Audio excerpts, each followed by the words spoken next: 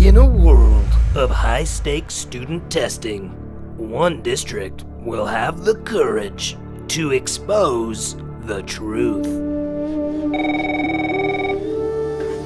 Hello? Look under your desk. Why didn't I know about these test scores? You're in over your head. This can't be right. Do you realize what it means? It means Birdville CTE TAKS scores are almost 20% higher than non-CTE scores. It means that TAKS English scores are in the 98th percentile. And these these math scores, they're 10% higher than non-CTE TAKS scores. That's not all. In science and social studies, CTE students are performing in the 100th percentile. That means these teachers, they're supporting core curriculum as well.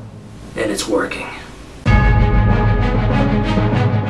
You're talking about a nationally recognized district. These students, they go all the way to the top. Birdville CTE students are outperforming the state average, and I'm not gonna rest until the whole world knows it. You're a fool! No. I'm just a teacher.